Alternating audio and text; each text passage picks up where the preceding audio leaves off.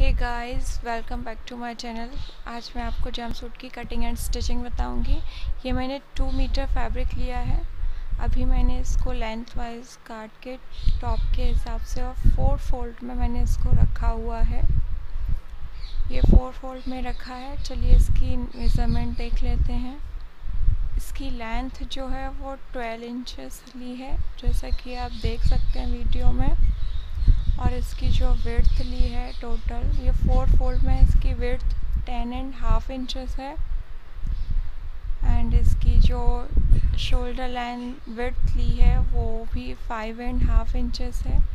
इसके जो arm hole लिए हैं, वो भी फाइव एंड हाफ़ इंचेस है। एंड देन इसकी जो नेक विर्थ है, वो भी टू एंड हाफ़ इंचेस है। और नेक डीप जो है, वो टू इंचेस का है। ये एक छोटी बच्ची के लिए बना रहे हैं। उसका जम सूट की कटिंग एंड स्टिचिंग है। अब हम इसके आर्म होल पे घुमाव देकर गोल बना लेंगे इसको। और इसकी जो चेस्ट की वेथ है वो एट इंचेस है एंड जो वेस्ट की है वो सेवन एंड हाफ़ इंचेस है। अब हमने इसमें वन इंचेस की मार्किंग ले ली है और इसको मार्किंग से कट कर देंगे। कट करने के बाद अपन इसको ओपन करेंगे। ओपन करने के बाद इसका जो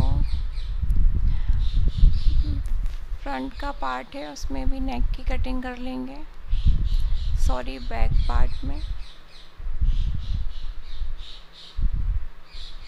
अब इसके दोनों पार्ट्स देखिए, इस तरीके से कट हो गए हैं। अब इसका बैक पार्ट लेंगे। और इसके मिडिल में सेंटर नेक से कट कर लगा लेंगे। यहाँ पे हम अपनी ज़िप अटैच करेंगे। अब ये देखिए मैंने नीचे प्लाज़ो का भी आ, कपड़ा काट के रख लिया है।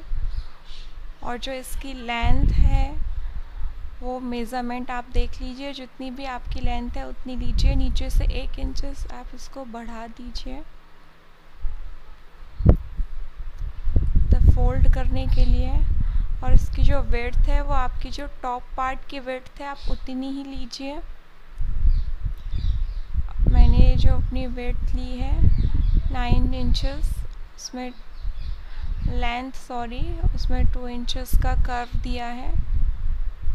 उसके बाद आप इसको ऐसे शेप में दे दीजिए। नीचे आप इसको थोड़ा सा अंदर को कर दीजिए और उसके कट कर लीजिए।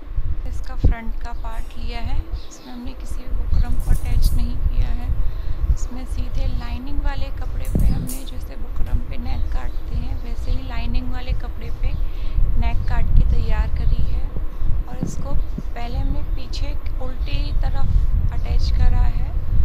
उल्टी तरफ़ स्टिच करने के बाद इसको आगे की तरफ़ फ्रंट की साइड पलट दिया है। और इसे पलटने के बाद ऐसे इसको यहाँ से स्टिच कर देंगे। स्टिच करने के बाद ये देखिए, हमारा ये नेक बहुत अच्छे तरीके से तैयार हो गया है। और ये बहुत सुंदर भी लग रहा है, ये पीछे से भी कुछ इस तरीके से दिख रहा है। नेक में बिना बुकरम के भी काफ़ी सारी फिनिशिंग आ गई है। और अब हम इसकी ज़िप अटैच करते हैं। देखिए, मैंने एक तरफ़ की ज़िप जो है अटैच करके रखी है, यहाँ पे ऐसे सिलाई फिर दी है मैंने। तो ये इस तरीके से यहाँ पे अटैच हो गई है। अब हम और इसके ऊपर से भी एक स्टिच कर देंगे। जिससे इसकी फिनिशिंग अच्छी आएगी और ये अपनी जगह बैठ जाएगी। अब दूसरी तरफ़ भी अटैच करने के लिए इस तरीके से हमने इसको उल्टा करके रखा और हम ज़िप के साथ इसको एकदम बराबर करके और ऐसे सिलाई लगा देंगे। उसके बाद हम इसको ऐसे पलट देंगे और ये अटैच हो जाएगा। उसके बाद इसकी ऊपर बैठने वाली सिलाई लगा देंगे। देखिए इस तरीके से यहाँ मैंने इसमें सिलाई लगा दी है। और हमारी ये ज़िप अटैच हो गई और जो ऊपर एक्स्ट्रा ज़िप थी वो हमने कट कर दी है। देखिए पीछे से और आगे से दोनों तरफ़ से इस, तरह की दिख रही है। इसमें ये हमारा बैक का पार्ट कंप्लीट हो गया है ये हमारा फ्रंट का पार्ट कंप्लीट हो गया है टॉप पार्ट अब उसके बाद हम हमारे प्लाज़ो की स्टिचिंग करेंगे। प्लाज़ो की स्टिचिंग के लिए, सबसे पहले हम इस तरीके से दोनों तरफ़ जो कर्व हैं, वो दोनों तरफ़ ऊपर से कर्व तक सिलाई कर लेंगे। उसके बाद बीच से ऐसे उठा के ऐसे कर देंगे। देखिए, मैंने यहाँ पे पहले से स्टिच करके रखा था। आपको बताने के लिए, और देखिए, इस तरीके से हम ठीक कर लेंगे इसको। और हमारा प्लाज़ो जो है शेप में आ गया है अब हम जो बैक पार्ट की नेक है वो भी बता देते हैं वो भी सिंपल उसी फैब्रिक से ऊपर पीछे की तरफ़ से अटैच कर लो या फिर आप फ्रंट साइड से जहाँ से भी अटैच करना चाहते हैं अटैच करके और उसको पलट दीजिए। अभी हमारा प्लाज़ो का है तो मैंने नीचे आप एक इंच की, डेढ़ इंच की, दो इंच की आप जिस तरीके से, जितनी चौड़ी चाहते हैं उस हिसाब से अपनी ये स्ट्रिप काट सकते हैं। लेकिन जो वेथ है वो उतनी होनी चाहिए जितने प्लाज़ो के बॉटम की वेथ है। आप इसे कट कर लिए जिस तरीके से इसको ऊपर की तरफ़ सिल दीजिए।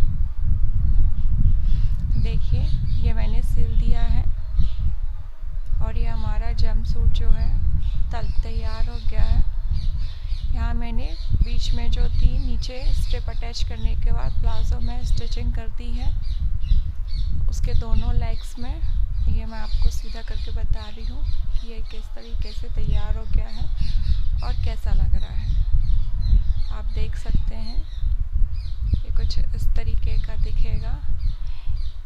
अब जो बॉटम वाला पार्ट था प्लाज़ो वाला और जो टॉप वाला पार्ट था, उन दोनों को आपस में जॉइन कर दिया है। कुछ नहीं है सिंपल एक स्टिच से बीच में दोनों पार्ट्स को उल्टे रख के स्टिच कर देना है।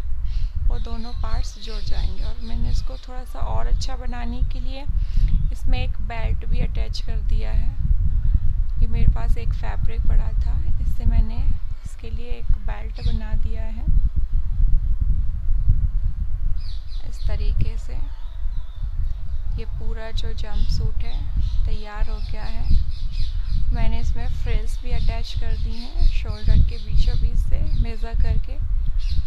इसमें फ्रिल्स अटैच कर दी हैं और ऊपर से बैठने वाली सिलाई लगा दी है, जिससे अच्छे से बैठ जाए अपनी जगह पे।